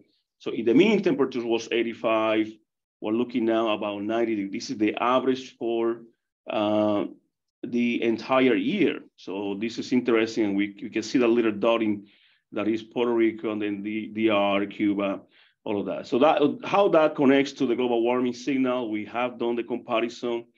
And uh, of course, in the left-hand side is the Caribbean because it has a large, you know, warmer temperature than the globe. The average globe combines the tropics and the polar areas. Therefore, the mean is going to be lower. However, we can see that trends are consistent, which means that uh, we can indicate, we cannot do the attribution that the uh, accelerated, accelerated rates of the Caribbean climate or temperatures are directly linked to global warming. So that's a statement and uh, by this kind of information. Other colleagues have presented that uh, at some point. We published our first work in 20, 2015. How that links to the larger tropical area. That, that's an interesting area. We can see that the uh, the tropical band in the, in the, Caribbean really is among the warmest uh, tropical areas in the in the globe. Also becoming a little bit drier um, because of the inhibition of convection. This is the lower plot in the in the in the in the case here. A little bit drier, and that's what is being anticipated. It may likely happen and uh, so warmer and a little bit drier in, in this case, less rainfall, but warmer. These are not speculation, these are actual data in, in this case, how the Caribbean is, uh, is been changing in the, in the present time. How these changes manifest in local uh, variables, such as uh, heat, all right? I'm going to focus on, on that. There are other uh, key variables that others are looking at, and all, including our own research group, but we're focusing today on heat waves and extreme heat, and we define a heat wave as a stagnant system that has temperatures in the in the in the threshold. And uh, uh, Ernesto talk about it, and, and Pablo, and, and we have any any anywhere we are in the 99 percentile. That could be around 102 Fahrenheit or so. Then over consecutive days, then we may have a heat wave. There are other definition in other for different regions in uh, across the nation. In, in the case of um, New York metro area is 92 degrees over three days, for example. But of, of course, the, the, the, mean in New York area is, is lower than in, in Puerto Rico. And it is, it's typically controlled by high pressure. So it means that there is very little wind uh, in the in the area over over many days and uh, a lot of heat and could be a lot of moisture if the, they feel enough for that. So we have looked into the trends of the of the heat index that Pablo spoke about it, and uh, it's a key variable that we look for human impacts. And again, these are observations; these are not speculations, and it indicates that there is a very fast rate. Uh, I will say about twice the, the rate of the SST. So the, the combination of temperature, air temperature, and humidity it has a rate about 0.1 degrees Celsius per year, which is about twice the SST 0.04. All right, so um, that makes it uh, interesting and uh, typically is around this fast rate of uh, over the past, since 1995, we've been seeing that trend going at a higher peak and uh, than in previous one, but overall, a, a warming trend, uh, SSTs and manifested in the temperature and uh, even a little bit low, uh, more moisture that triggers a high heat index in this case. These plots illustrate that shift in the mean temperatures during heat waves and about 36, 37, and there is a shift in the 1995, 99 for about one full degree. So again, these are observed trends in the mean. So let's say they are 10 heat waves in, in a given year, and the mean was 35, well, now we have around 37, all right? That's what it means, the, the plot. So we see in these, these trends, and a few degrees pushes to that threshold of uh, health, uh, health risks, and again, in the, in the heat index in, in this particular case. This is a snapshot of what happened the last uh, few months. This is uh, part of our uh, simulations for, for the island, and uh, you can see that uh, the wind is coming from the from the south. That's why you saw the arrows in this case. And most of the northern part of the island was in the warmer side, so was not having the benefit of the high pressure, the easterly wind ventilating and keeping that uh, pressure environment and the heat index clearly was in above the 100 degree or so. So this is very typical high pressure. And uh, Ernesto can speak a lot more about the it happened, but I we observed it was almost 10 days in a row and uh, under that condition. And that's very interesting because we're still in not in the late rainfall season. This is the early rainfall season. Remember that seasonality. So that's another piece of information that make it very interesting. So uh, to wrap up is how this climate that is changing will change in the future, all right? So we do, we do these climate projections for, for, for the globe and for the uh, regions and the locality uh, using the IPCC, the Inter, Intergovernmental Panel for Climate Change, uh, that uh, design scenarios for how we are going to be evolving as a society around the globe, whether there are policies to control emissions from greenhouse gases or no, and those are the representative concentration pathway RCPs. And they have 2.56 families of those. I mean, the family represents a higher greenhouse gases or lower greenhouse gases in these cases. So I'm going to only illustrate for the sake of time only one case, the, the, the worst scenario that if we don't reach agreements in the globe uh, to control the emission, that's probably a scenario that we're going to be at in this case. And these are the projections for the Caribbean, right? This is just including Puerto Rico, how this uh, is going to likely is going to occur. And uh, we see that our heat waves are going to be in the rise up uh, over the next uh, 50 years or so. And the heat index is going to be hitting between 40 and 42, while looking about you know, 110 degree uh, Fahrenheit or so, right? This is, so we, we you know, the, the discussion about the 40 degree cities, we're close to that. And uh, if we don't agree in, into this. Lastly, I'm going to mention that the heat connects to other variables. Heat and air quality is very important because heat trigger what we call uh, ozone, all right?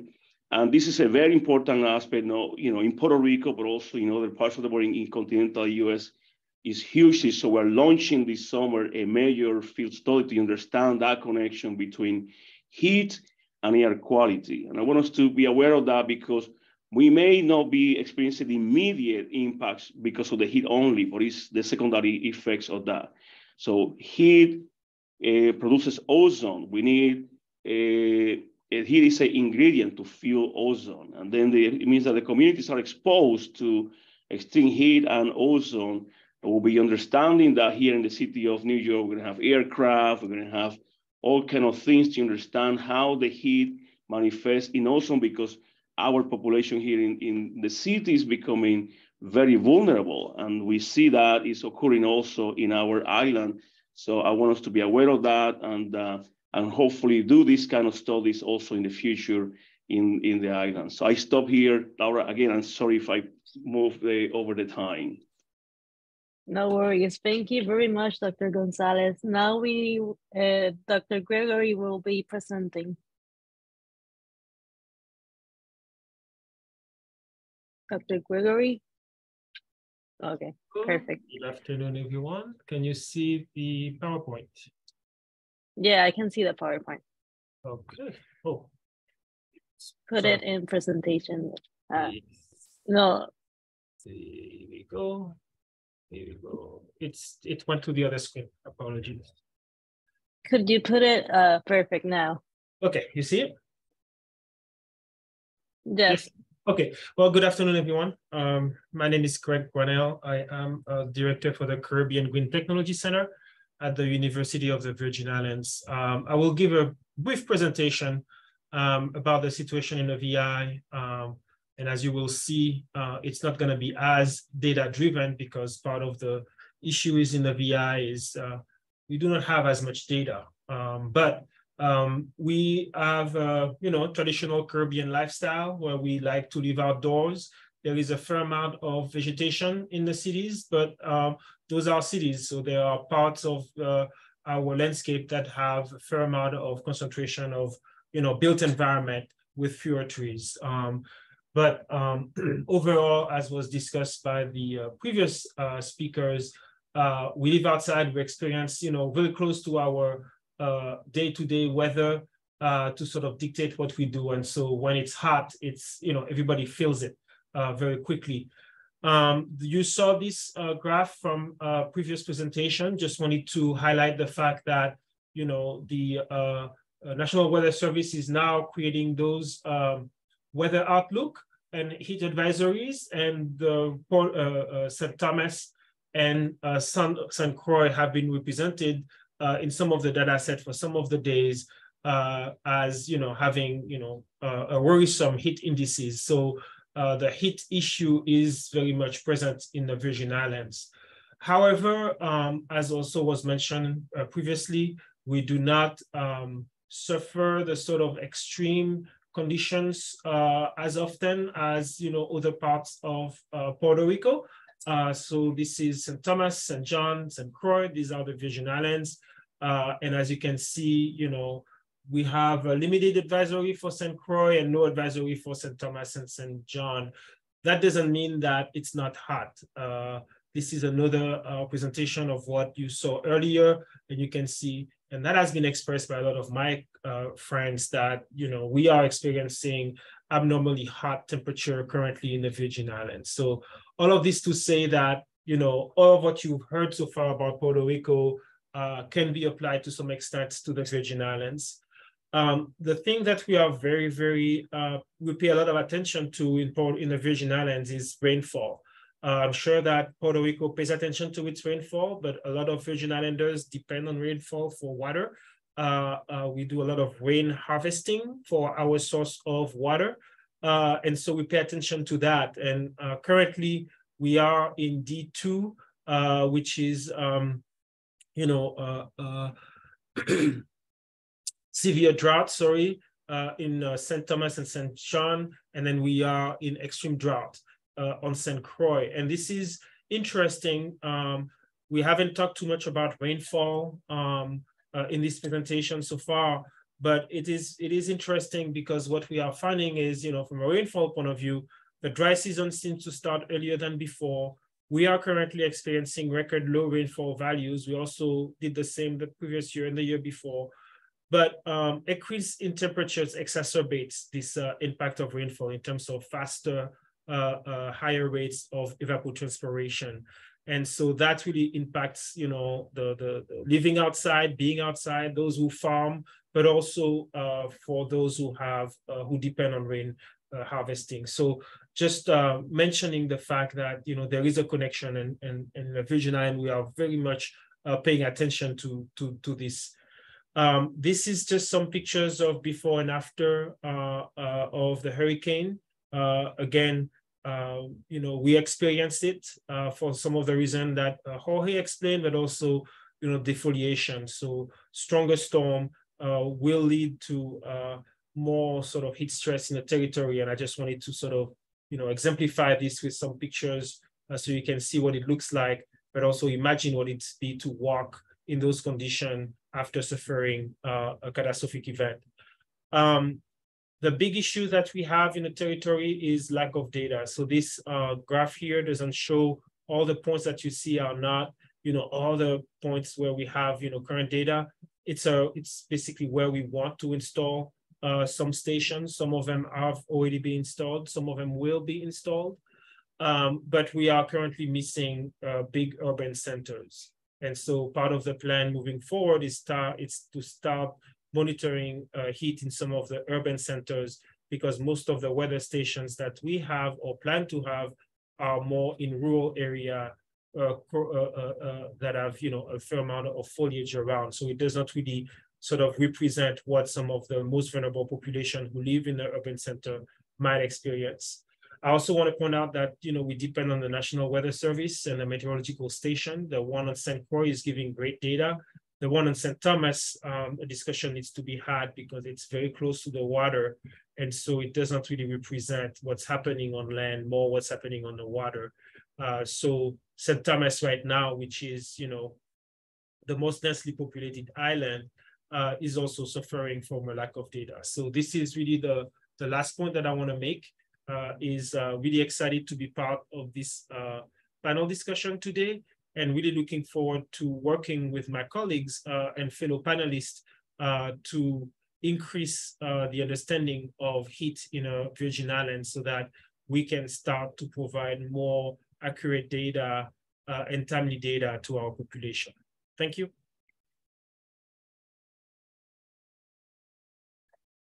Thank you very much, Gregory.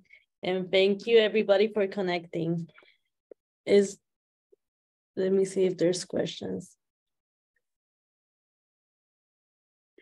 We don't have any questions. Is there a last message uh, you all want to send to the public?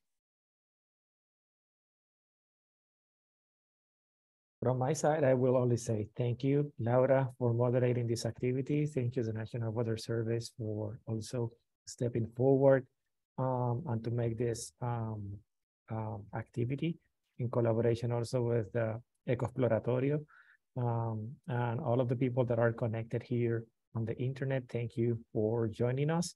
And we really hope that this information is useful. Please feel free also to share the link and the webinars um, broadly. Um, and we will be happy also to answer any other questions in the future. You have our contact information in the presentation. Um, happy to be here and thank you.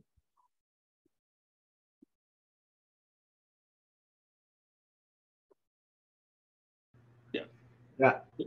Yeah, thank you for yeah organizing this from from the heart. It's great honor to to be here.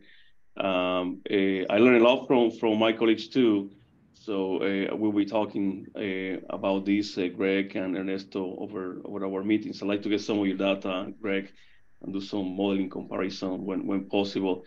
Yeah, but here is, is, a, is a silent thread that is, I'm just glad that we have this uh, week of heat awareness and um, hopefully we learn about more about it and, and learn how to deal with this. It's going to stay with us for forever. So it's and it's uh, it's on a on a rising side. So I think the the messaging is is great. So and very beautiful audience uh, in in the panel.